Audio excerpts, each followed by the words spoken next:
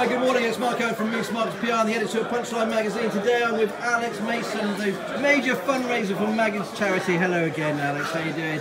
So here we are at the Taynton's Curry Club.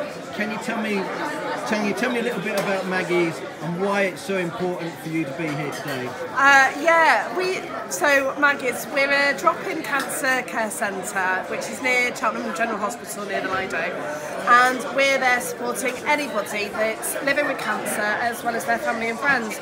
And what's really important, and I'm really blessed with the invitation from Tayntons today, is, is to let people in Gloucester know where we are.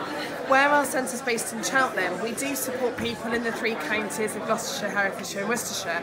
But a lot of people think that because we're in Cheltenham, we just support Cheltenham, and it's not true. So it's raising that awareness to say, if there is anybody living with cancer, family and friends, to know that Maggie's is there.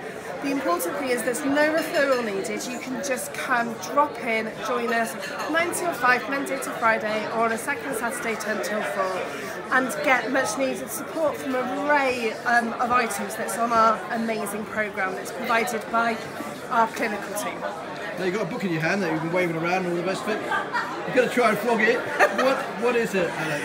So two of our supporters have put together this book and it's got over 60 recipes from people you'll know, people you don't, like Tom Kerridge, uh, Jilly Cooper's in there, Lofty from EastEnders, there's lots of recipes and it's an amazing Christmas present for anybody that would like it and the book is just fabulous. And how do I get a copy and how do I order a copy? So actually pick one up from the Maggie Centre. They're twenty pounds each, or from Maggie's cookbook.com. You can order it online as well. But Mark, I've got you a copy right here for you, love. Uh, it's a done deal, uh, Alex. You've sold.